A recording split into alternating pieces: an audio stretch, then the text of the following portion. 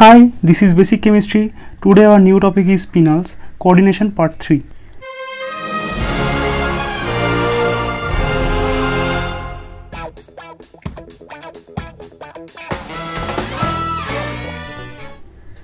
So, what is spinels? Spinel is naturally occurring mixed oxides whose general formula is A-B2O4 where A belongs to group 2 element or transition metal and its oxidation state is plus 2 and B is group 3 element or transition metal and its oxidation state is plus 3. So, general formula is A 2 B 3 O 4 okay. So, this is general formula of spinel. This is structure of naturally occurring spinel. Now come to the types of spinel. There is two type of spinel one is normal spinel the other spinel is inverted inverted spinel anti-spinel or inverse spinel so the characteristics of normal spinel is that a is bivalent and it occupied in tetrahedral hole. B is trivalent trivalent and it's occupied in the octahedral hole. So the first position is written as tetrahedral hole which metal are in tetrahedral hole it is placed in the first then the octahedral hole is placed in between the tetrahedral and oxygen. This is 4 now in case of inverted spinel one octahedral hole comes to a tetrahedral position and tetrahedral bidentate metal comes to a octahedral hole like this. As it is a normal spinel but in case of inverted spinel 1b come to the octahedral and the tetrahedral O A metal will go to the octahedral hole and rest of the thing will be like this. So, this is inverted spinel. So, the tetrahedral side is like this. This is the this is the metal and it is surrounded by four oxygen ion in like this manner it is tetrahedral site. Another is octahedral site where this is the metal and 6 oxygen ion surrounded in like this octahedral site. This is octahedral site. How do you evaluate whether the inverted or normal spinel structure is favored? To understand a complex is normal spinel or inverted spinel we have to calculate OSSE this is actually octahedral site stabilization energy. What is OSSE if a metal sometime remain in octahedral hole and sometime it can remain in tetrahedral hole if the OSSE energy is low enough. So, to calculate OSSE we have to calculate the metal CFSE at octahedral geometry and metal CFSE at tetrahedral geometry and after this subtraction the value will told us that this metal is preferable at tetrahedral position or not. In general, the CFSE of an octahedral geometry is more than the tetrahedral geometry.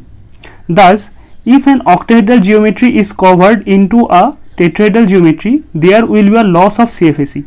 This loss of CFSE is decided as the OSSE on the octahedral structure preference energy. Let's say OSSE of Fe2. Now, how to calculate the OSSE of Fe2?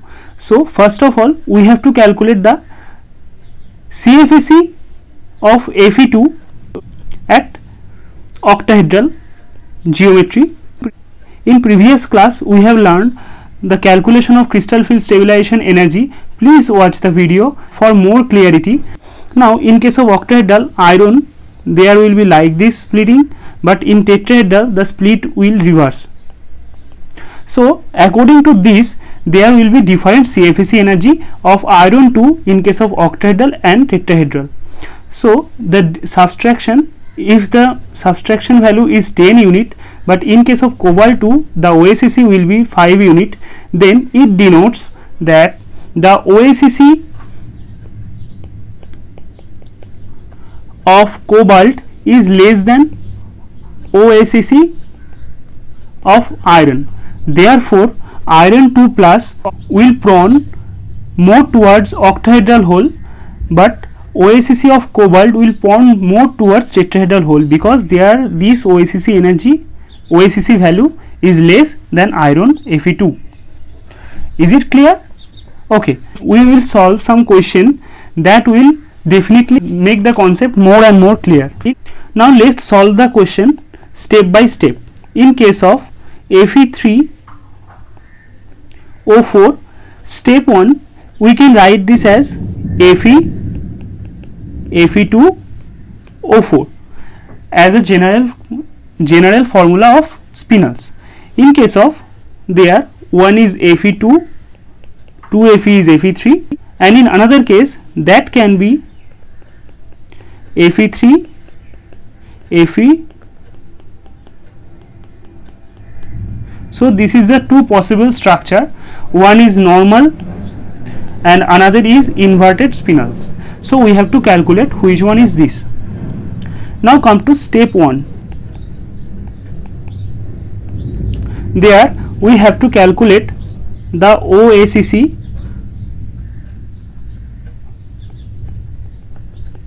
of iron 2 to calculate that OSSE of iron 2 we have to calculate the CFSE of iron 2 octahedral which will be like this. In general oxide metals are generally low field. Therefore that follow the condition del 0 is less than pairing energy. Iron 2 means d6 system. So 6 electron will occupy like this. 1 2 3 as del 0 is less than pairing energy so 4 5 and 6 it has been clearly explained on my previous CFSE and crystal field theory class. Now if we calculate the CFSE from there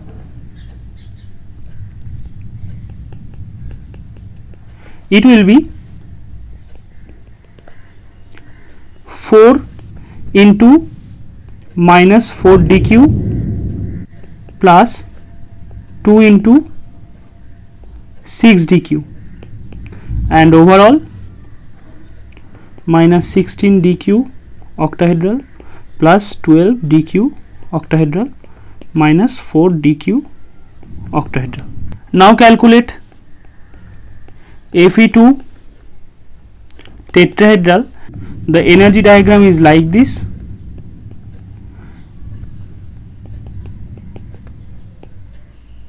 Minus 6 dqt plus 4 dqt because this is tetrahedral and this is dx square minus y square as we know we have discussed that orbital structure previously in pretty detailed manner. Xz d zy d x y. Okay? Now if we place the 6 electron 1 2 3 4 5 6 in this case the energy will be 3 into minus 6 dqt plus 3 into plus 4 dqt.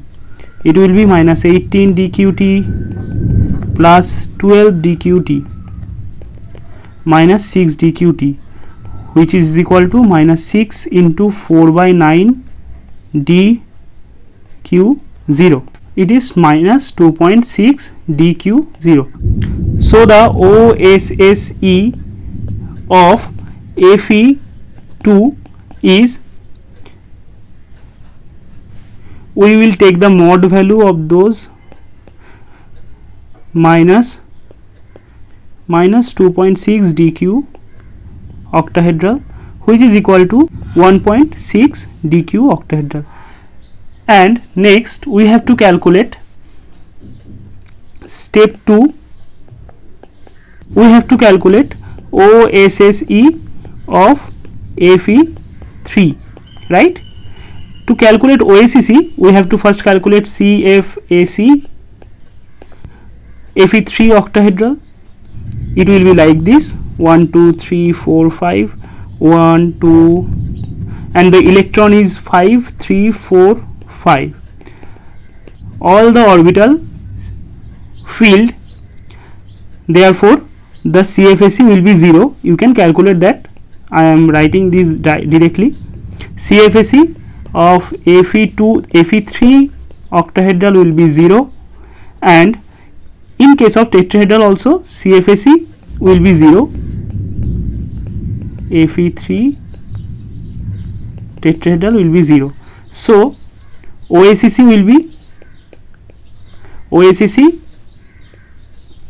of Fe3 will be 0 minus 0 which is 0 right? Now step 3 in this step we have to calculate OSSE of Fe2 and OSSE of Fe3 in this case OSSE of Fe2 is 1.4 dq 0 and OSSE of Fe3 is 0. So, OSSE of Fe2 is higher than OSSE of 3. Therefore, Fe2 is more prone towards octahedral hole then Fe3. Therefore, this is actually a inverted spinel which look like this. The structure of that spinel is Fe3's OSSE is less, therefore it will to point towards octahedral hole and there will be Fe2, 1 Fe3 and tetrox tetroxide this is a inverted spinel and the structure is like this. Okay? Now come to the next question. Ni Fe2 oxygen 4 in our next example nickel Fe2O4 there can be two structure nickel 2 Fe3 oxygen 4 or Fe3 nickel 2 Fe oxygen 4 so this is normal this is inverted. Now we have to calculate step 1 as we have learned previously. We have to calculate the OSSE of nickel 2 to calculate the OSSE of nickel 2 we have to first calculate the CFSE of nickel 2 octahedral and CFSE of nickel to tetrahedral. In step 2 we have to calculate the iron 3 the OSSE of iron 3 and to calculate OSSE we have to calculate CFSE of iron 3 octahedral and CFSE of iron 3 tetrahedral.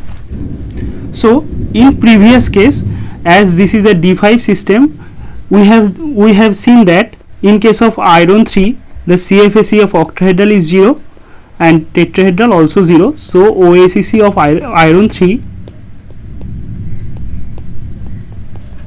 is 0 but in case of nickel OSSE always a positive value. However this is not 0 the things to remember here that the OSSE is always a positive value so it is some positive value.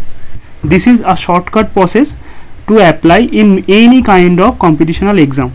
So this is as this is a positive value so OSSE of nickel 2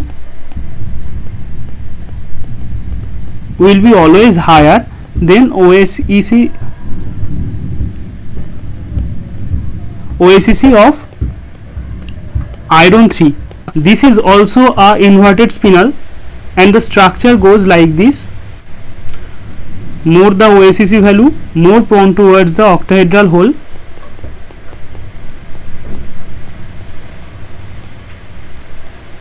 Okay?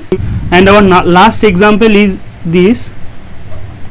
Mn3O4 we can also consider that as Mn2 Mn3 whole 2 O4 and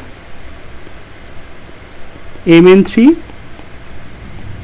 Mn2 Mn3 tetroxide. We have to calculate the OSSE of Mn2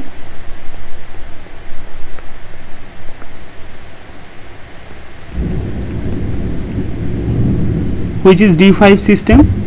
Now we have to calculate the CFSE Mn2 octahedral oxide are generally a weak ligand therefore it always form a high spin. Except cobalt 3 please keep in mind only cobalt 3 give low spin complexes at presence of oxides ion but most of the cases oxide weak field it gives high spin complexes. So d5 system 1 2 3 4 5 so generally CFSE we don't have to calculate. This is 0 because all the orbital is single electron paired fulfilled. And in case of Mn tetrahedral this also CFSE also will be 0 you can calculate. Now we have to calculate the OSSE of Mn3 which is D4 system. Please try yourself. It will be a practice for you. CFSE of Mn3 octahedral is minus 6 dq octahedral and for tetrahedral it will be 1 2 3 4 the CFSE will be minus 1.77 dq octahedral. We have changed that tetrahedral to octahedral so don't forget to multiply with 4 by 9 so if we calculate the OSSE then then the CFSE of octahedral is higher because we take the mod value always then CFSE so the OSSE stand 4.33 dq octahedral. But in case of mn2 this is for mn3 but in case of mn2 the OSSE was 0 therefore the mn3 will more prone towards the octahedral hole. Therefore the structure will be like this. And it is a normal spinel right? I think you have understand to understand the energy diagram the d orbital splitting in case of octahedral and tetrahedral. Please visit my previous lectures on coordinate chemistry. I will attach that file end of the video. There is a homework for you. Please try. What is the spinel structure or cobalt 3 oxygen 4 in case of cobalt there will be low spin because oxide ion act as a strong field. Therefore keep in mind and calculate the OSSE of both cobalt 2 and cobalt 3 and give me the result the nature of spinel and comment below the answer. And if you face any problem please gmail on basic chemistry at helpline at the rate gmail.com our next class will be on Jahn Teller effect Jahn Teller distortion. So thanks for watching. Goodbye